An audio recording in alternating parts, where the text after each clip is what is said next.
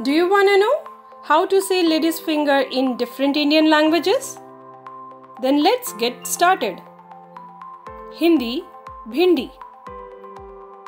Marathi, Bhindi. Bengali, Dhairosh. Gujarati, Bhindo. Odia, Bhindi. Telugu, Bendakaya. Kannada, Bendekai.